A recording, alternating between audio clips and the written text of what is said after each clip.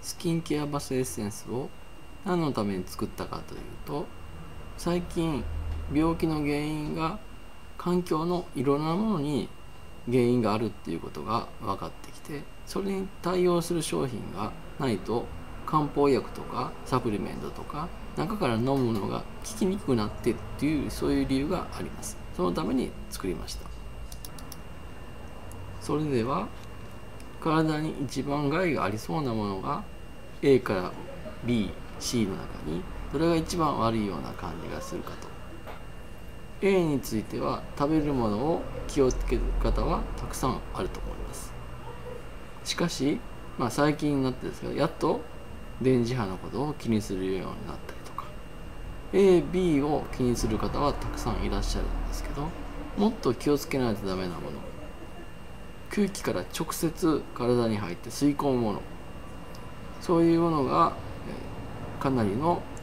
え害を起こすんですね。で日用品ですから毎日使い続けるということが一番怖いことなんでこれについて学んでいきたいと思います。それではどういうふうな害が起きてるかっていうことを勉強していきたいと思います。昭和30年代とか40年代とか高度成長時代は工場からの煙なんかが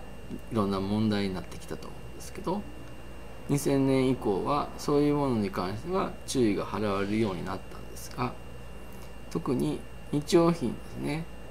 いろんなブーム例えば、えーと、匂いをこうごまかすものいい香りがするもの例えば水をはじくもの抗菌なんかはあのするものとかいろんな化学物質が家庭の中に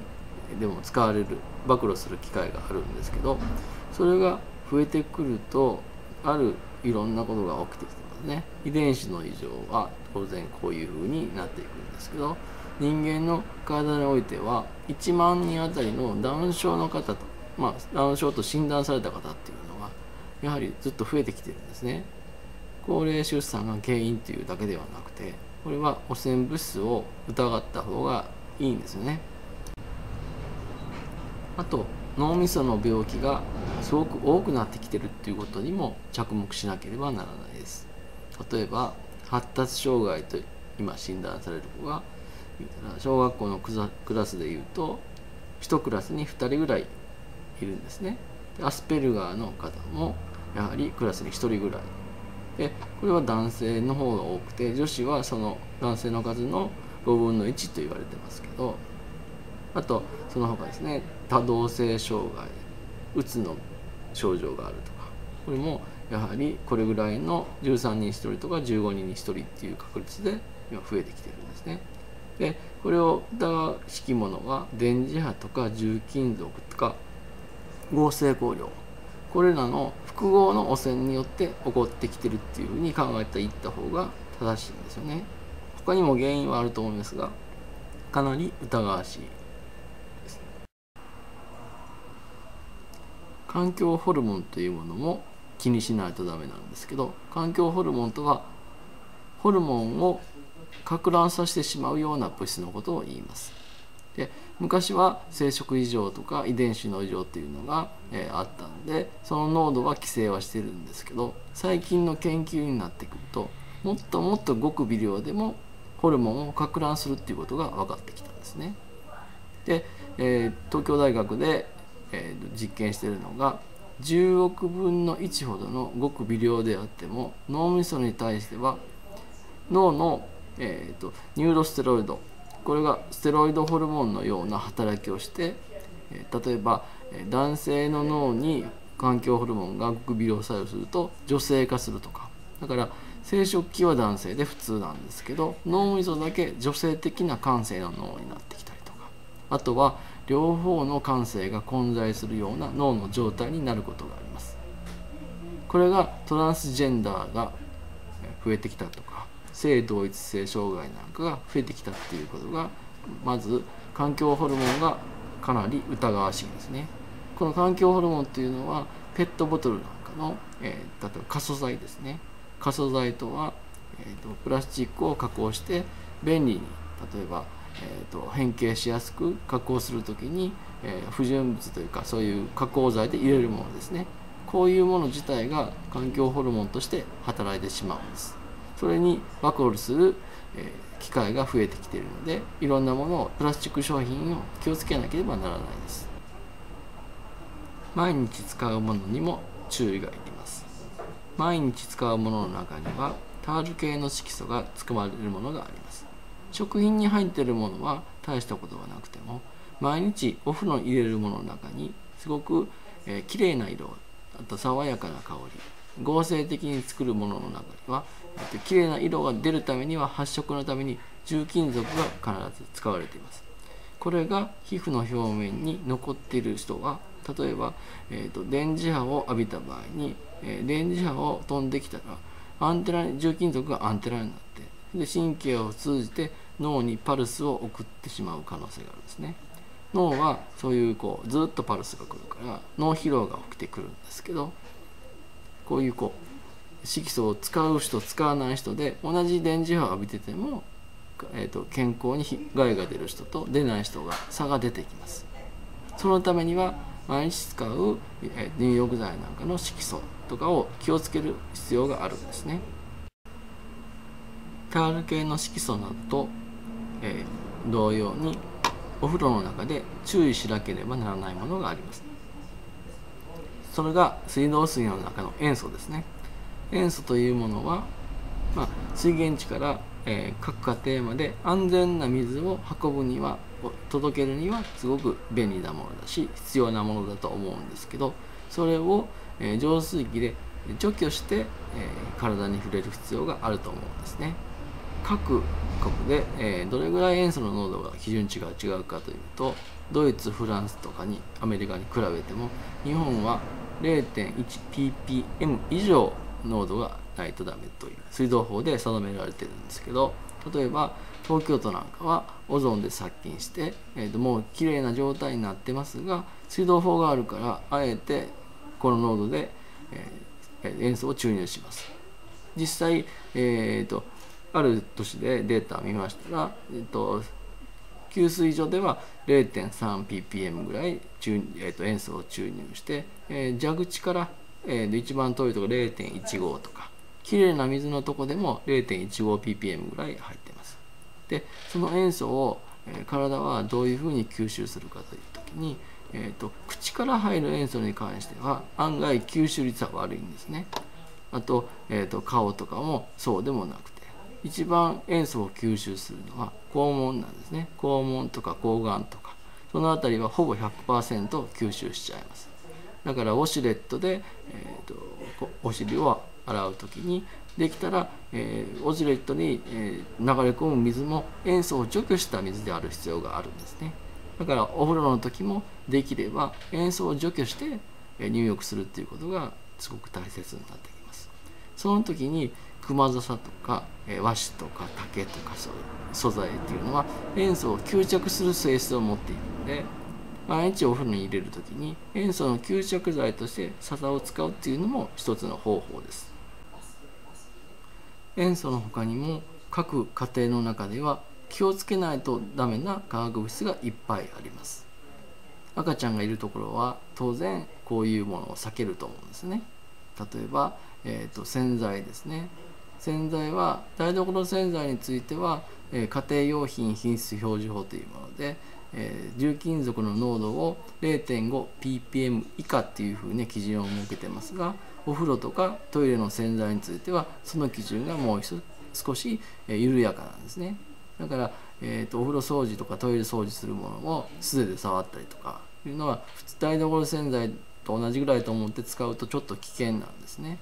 あとは、え虫除けのスプレーでですね。これは、えーと、ディートっていう成分が含まれることがあるんですけどその虫除け成分によって例えば子どもさんの脳に影響が出てきたりっていう事例も出てきてます。あとファブリーズなんですけど、まあ、えーと、これは逆性石鹸が入ってるんですけどこれを、えー、肺が吸い込むことによって肺の膨らみが悪くなってきますので例えば、えー、呼吸も浅くなる。呼吸が浅くなってきて眠れないとか自律神経が乱れてくるとかいろんな、えーと、ことが起きてきます。それと,、えーと、セルフの給油ですね、えーと、当然給油口を開けばガスがスッと出てくるんですけど、えーと、やはり吸い込んでしまうと脳に影響が出てくるんですね。でこんなえ給油には注意するんですけど気圧性の油っていうカテゴリーでいくと速乾性のワックスも気をつけないとダメです。これは、えーと、コンビニとか、えーほえーと、あとは人が出入りするショッピングモールですね、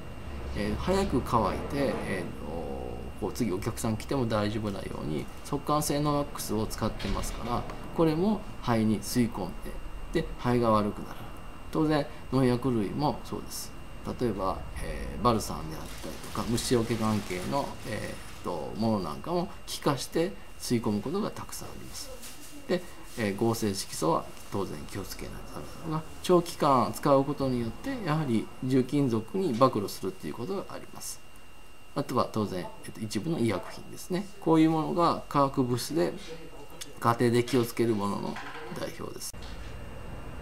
化学物質が怖いのは化学物質の影響で例えば吸い込むとかあと皮膚にずっと触れ続けることによって、えー、体は五感がおかしくなります。結局脳みそに影響があるのが毎日のいろんな刺激なんですね。で、えー、例えばシャンプーリンストリートメント。で入浴剤なんかもそうなんですけど毎日使うものが例えば頭皮の毛穴に対して作用する皮膚に作用するとこういう物質の化学物質は、えー、皮膚にも親和性が強く強いですから、えー、神経の受容体にずっと刺激を与えます。でスイッチがオンになったままいつまでたってもこれはあのオフにならないです。でこれが、え、神経終末にずっとひっついたままだと、え、脳はなかなか、えーと、ゆっくり休むことができないんですね。いくらいい花の香りがするからっていう。ので鼻から吸い込んだ時はリラックスができるかもしれないんですけど皮膚の受容体にずっとひっつきっぱなし。で目に見えないものが神経を刺激し続けるっていうことが脳に対してはすごく脳疲労を起こす原因の一つになるんですね。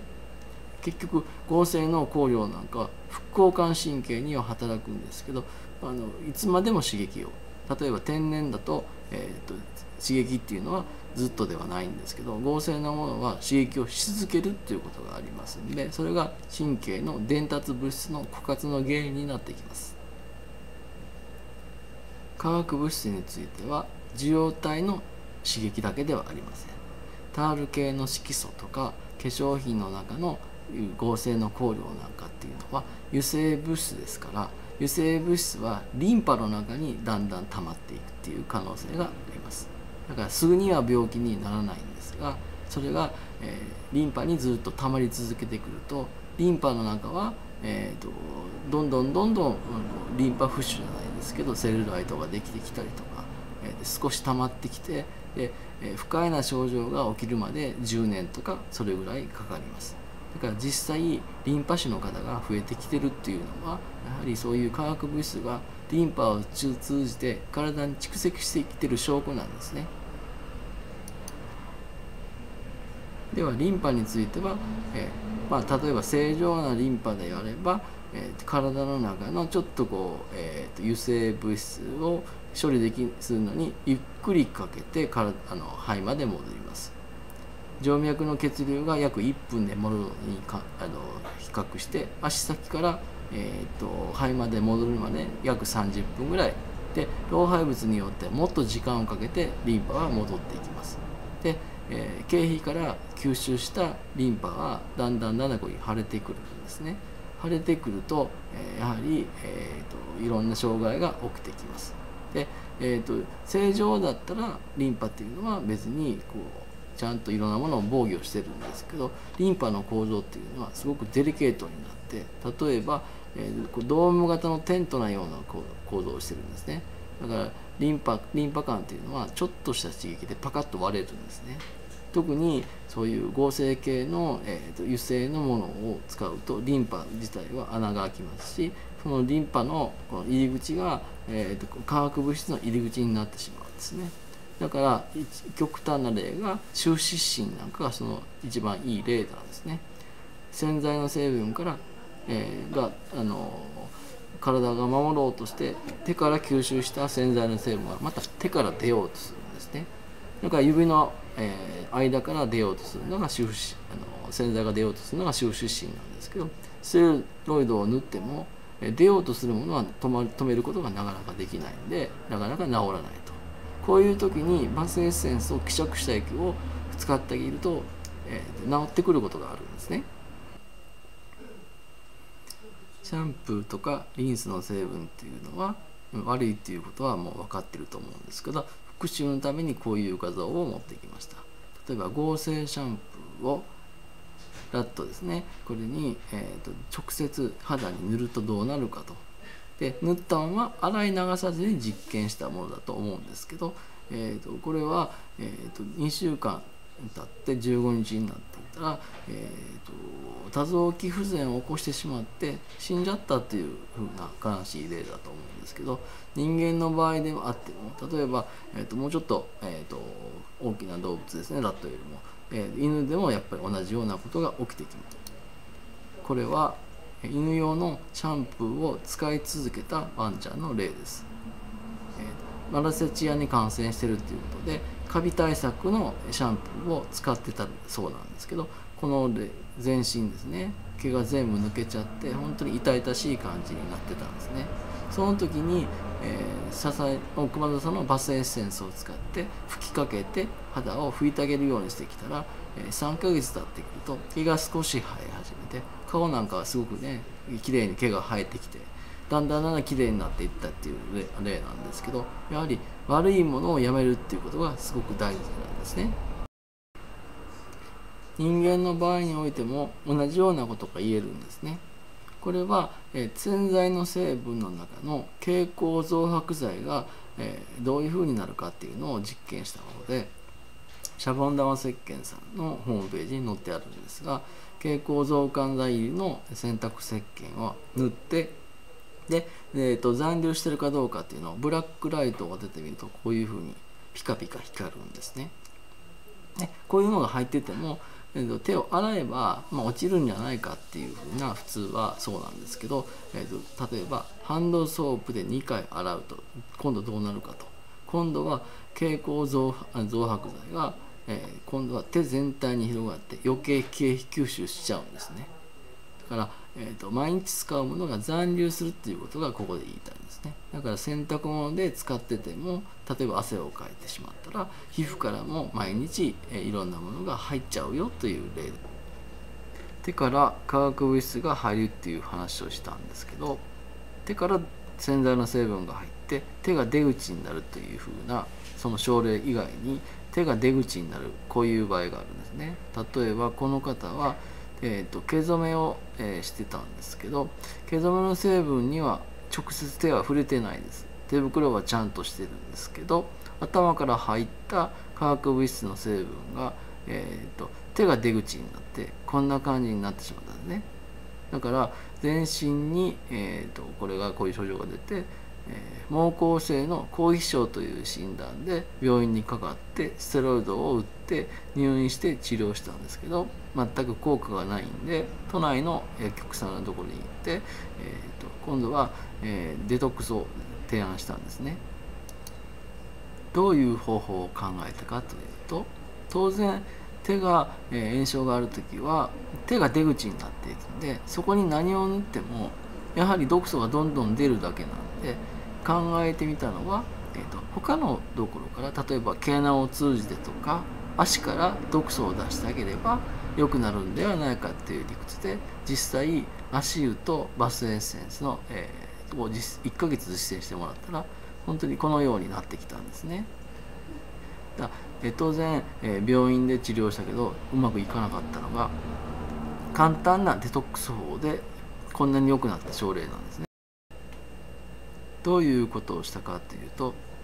足湯をする時にすごくポイントがあります何個かありますまずはふくらはぎの下ぐらいまで足に使うこととあとお湯の温度ですね体っていうのは41度を超えて42度になると交感神経が働いて血管がぐっと収縮する。あの冷たい温度で15度以下と42度に0点っていうものと温点というものがあるんですけど温点以上に、温めないということですね。ということは、えーと、夏場は少し、えー、低めで39度から40度。当然気温というものがありますから内熱内熱を含めたら夏場は39から40度冬場は寒い時でも41度までにするんですねこの、えー、機械が冷え取り組むという機械でタイマーもついてますし温度調節ができるんで便利なんでよく使ってますけどこういうもので足湯をしますあと今回の、えー、手の方の症例ではこの手浴手浴はしなかったんですけどよく、えーと、美容師さんですね美容師さんは、えーと、お客さんにシャンプーをしてあと、えー、それをすすいで次の作業に入ってるんですけど、えー、業務用で使ってるアミノ酸系のシャンプーほどちょっとあの残留しやすいんでその残留したシャンプーを、えーと、取るために、えー、と1人の髪を洗ったらまた使用して、えー、そういうのを繰り返して直していきます。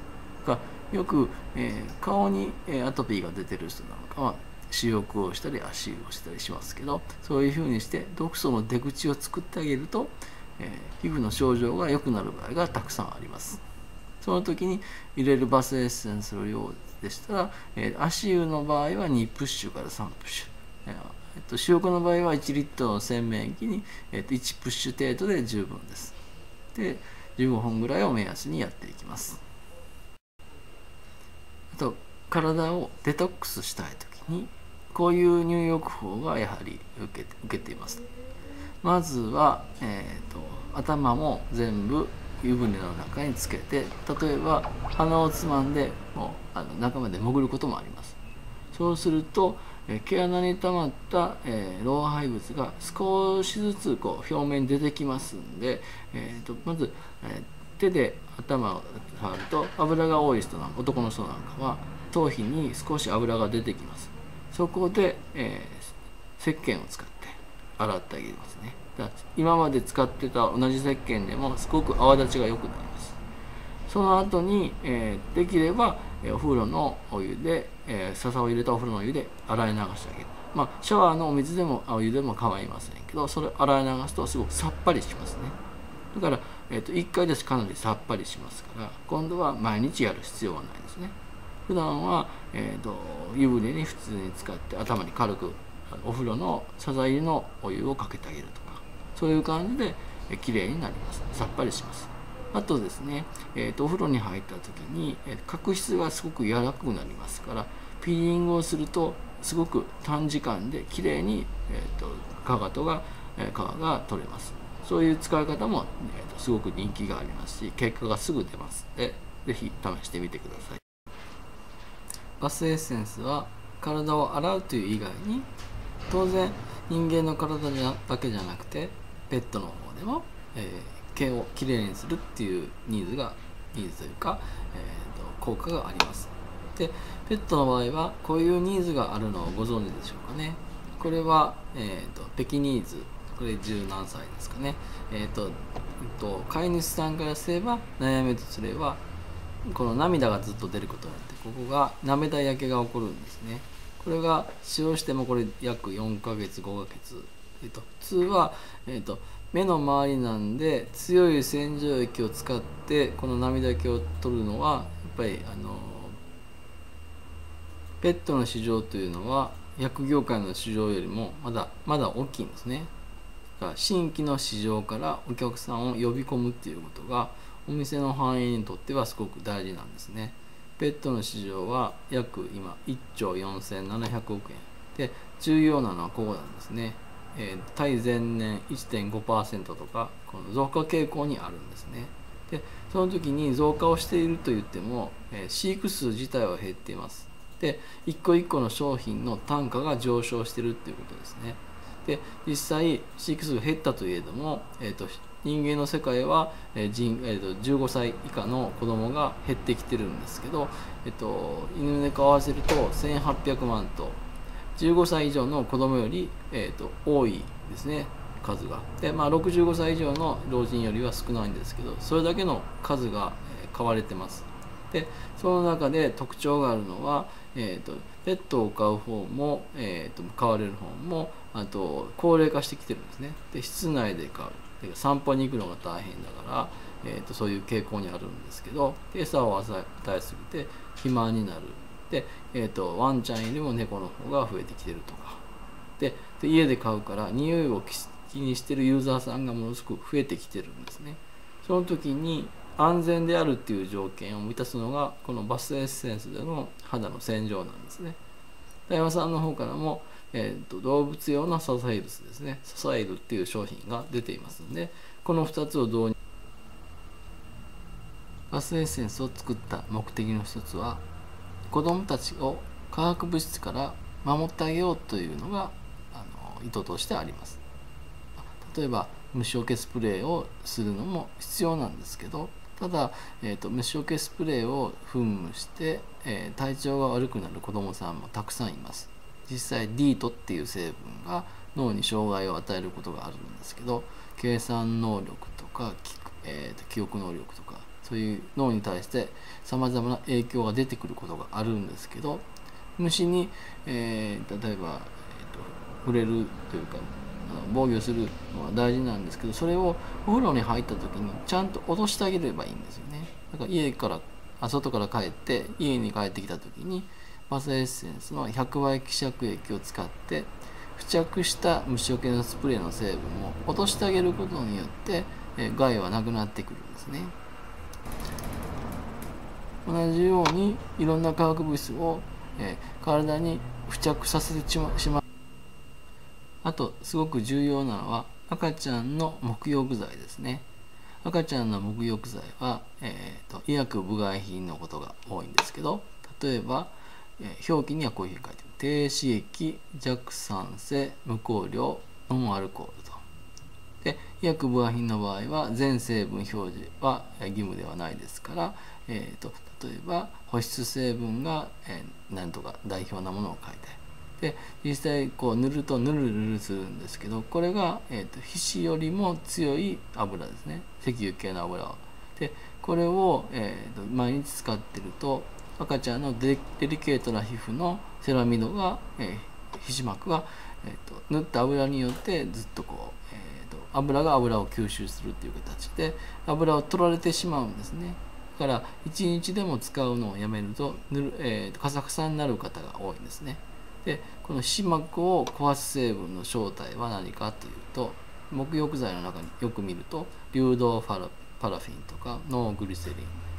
で白色ワセリンが入ってる場合が多いです。でその他こういう風な感じの添加物が入ってるんですね。でこれは、えーと、実際レビューあじゃお客さんが買った時のレビューには赤ちゃんを落としてしまうぐらい、えーと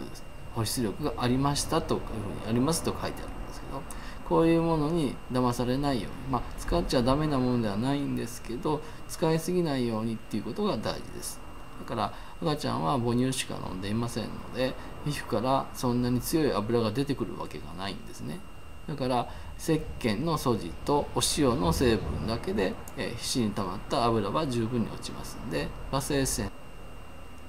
鉱物油が入ってたりとか油性が強い、まあ、あのグリセリンを含めてですけど油性の強いものを、え、毎日塗ると、え、皮脂が奪われるだけじゃなくてあの特にクリームとか乳液の場合は乳化剤による皮膚の皮脂膜の障害。あと、ワセリンに関しては、ワセリンにはやはり残留する重金属もある程度残っています。で、えー、タール系の色素の重金属が電磁波のアンテナになるっていうことも一部書いたんですけどやはり、えーと、科学的な鉱物油なんかはまずは、えーと、代謝されないですから、皮脂膜とか下手するとリンパに蓄積される可能性があるんですね。そういうものは、えー、と縫った後はいかにちゃんと落とすかっていうことも重要な要素の一つです。乳児出子に対してもそうですね。赤ちゃんの皮膚からどんなものが老廃物が出てくるかというとえーと、もともと赤ちゃんの場合は、えー、まず母乳しか飲まない場合当然、えーと、離乳食もありますけどそんな、えーと、油性が強いものを取ることはないんですよね。で消化器内臓自体が未発達なんで皮膚の薄いところから、えー、赤ちゃんは老廃物を出そうという、えーえー、ことで、えー、異物を排泄するんですねその時に、え出してるものを塞ぐんではなくていかに楽に出してあげるか排泄を促すようなそういうものの中に、えーと、あの忘れ線が入ってくるんですね。それで、えただ現実は、えーと、赤ちゃんとか子供さんのひしまくんに対してワセリンは、えーと、こう塗らないとダメな時もあります。ただ塗り続けたり大量塗るものではないことを忘れてはいけません。ワセリンというのは、えーと保湿剤ではありません。あくまでも皮脂から出てくる水蒸気水の蒸散を止める止めることによってえ皮膚に水分を残すっていうもので言うたら、えご飯の上に、えあったかいご飯の上にサランラップをかけると水滴ができるようにそういうふうな、えーと水の保持の仕方なんですね。ただ、えーと、いろんな、えー、外部からの刺激に対しては皮膚を守るっていう働きはありますのでこういう使い方の時は、えーと、おすすめしてますそれは例えば幼稚園に行った場合とか温水プールに行った場合、えー、ちょっと塩素は、え、濃い濃度で使われてると思うんですけど、え、例えばこう塩素入りの、え、お水に入る時はお湯に入る時は皮膚が刺激をあの受けないようにワセリンを塗っておくと保護してくれるんですね。そういうふうな目的であればワセリンを、えーと、薄く塗ってあげるっていうことが必要です。あとは、えーと、バスエッセンスのお風呂で、えーとまあ、石鹸を使って優しく体を上がってあげると、えー、まず、えー、過剰な油が落ちるのと、えー、笹のリグニンによって、えー、保湿もしてくれますので、えー、小さい子どもさんには、まあ